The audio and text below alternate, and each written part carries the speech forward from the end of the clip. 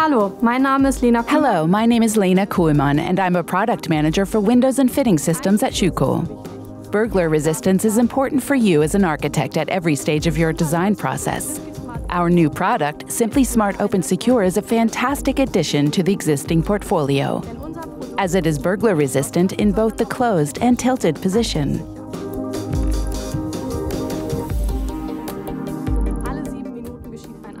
A break in takes place every seven minutes. This fact is from the German Federal Criminal Police Office and crime statistics from 2020. Unsecured windows, doors, and sliding systems are very popular targets here. Burglars can break in with little effort and few tools in a matter of seconds. You can make your windows more secure with additional locking points. These windows are classified with resistance classes. RC2 RC2 means that the window can withstand an attack for three minutes.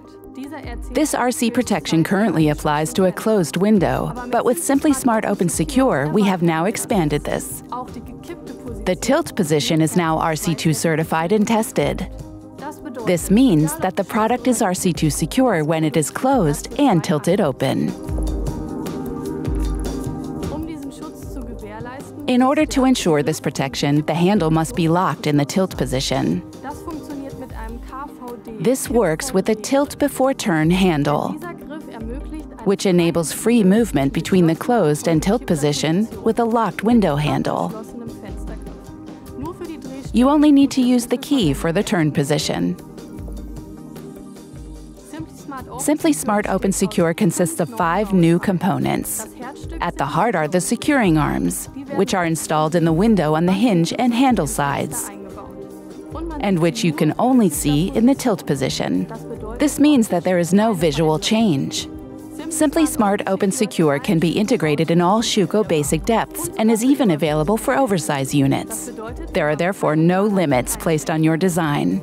The tested RC2 security means that there is yet another feature. Simply Smart Open Secure can even be used for nighttime cooling, and you have the perfect exchange of air thanks to the tilt opening width of 175 millimeters. Want to know more? Contact us, visit our website, or click the link in the video description.